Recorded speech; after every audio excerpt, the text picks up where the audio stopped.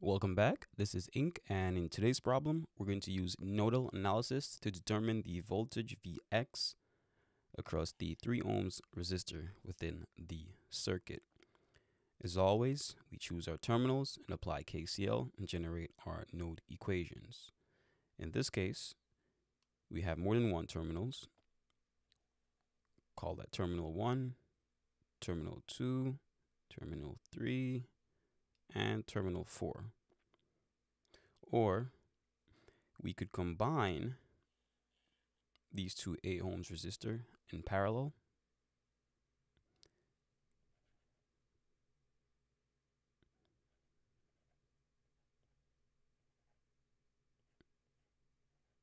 Combine that in parallel and that will equal to 4 ohms.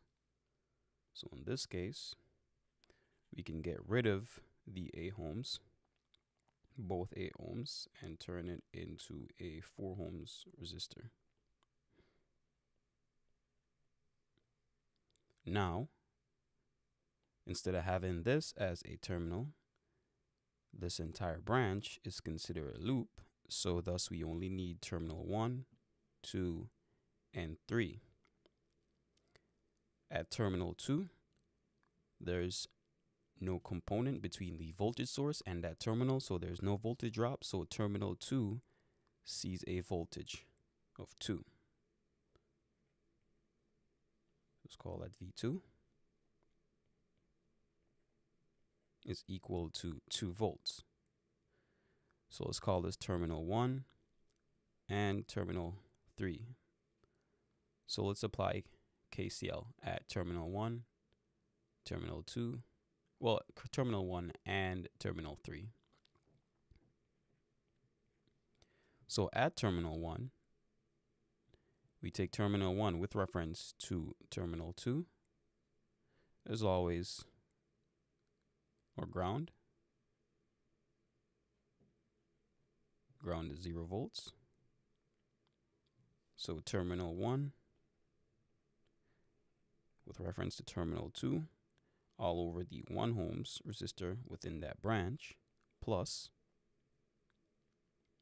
we see that we have a current entering terminal 1 current into a terminal is a negative. Get rid of the positive. So negative 2 now we take terminal 1 with reference to terminal 3.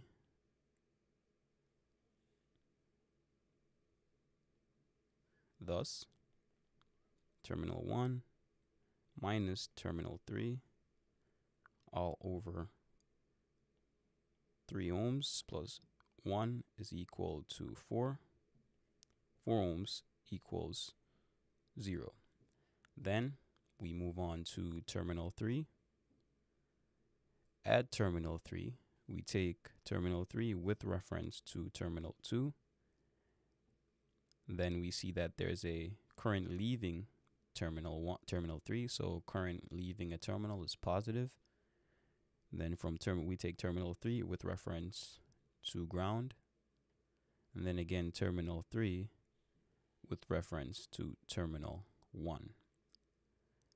Let's carry the operation out. So at terminal 3, That would be terminal 3 with reference to terminal 2 all over 4.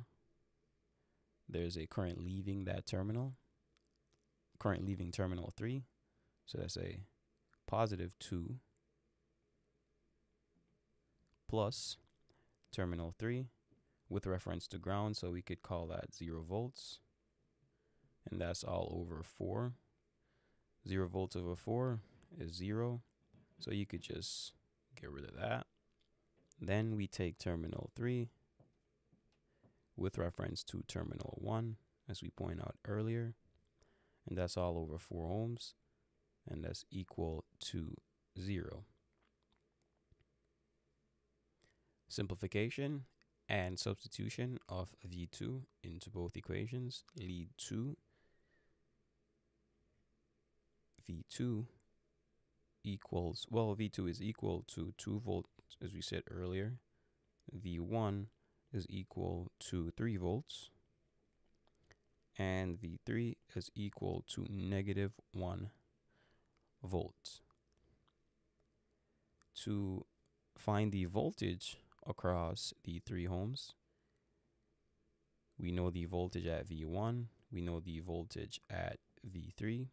We could take the difference of that voltage divided by the total resistance within that branch to get the current and then use the current to times the 3 ohms resistor and that will be the voltage drop across the resistor.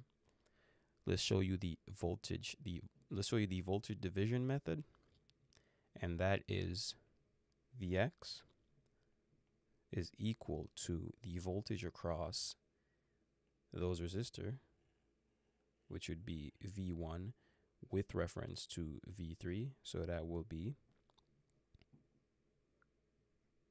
the voltage across, let's call it R, let's call it R3 plus R1. That's the voltage across both.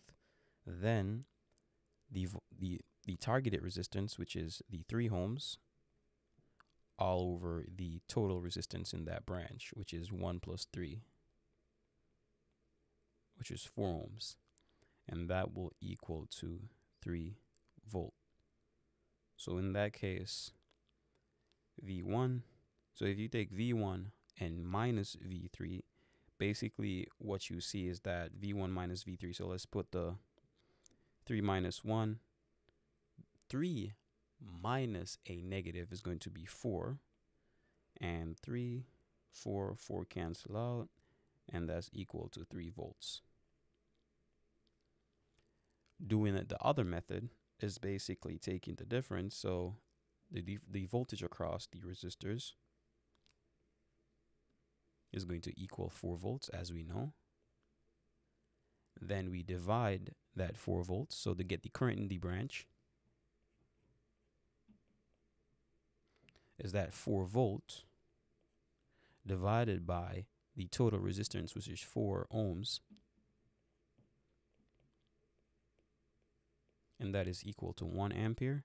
And then the voltage across the 3 ohms resistor is equal to I times R.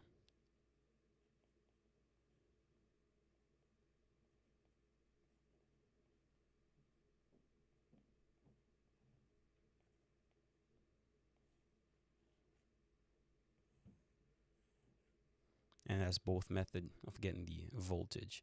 Voltage division is a bit quicker, and that's it. So see you in the next problem. Bye. And as always, subscribe, share, and like. Thank you.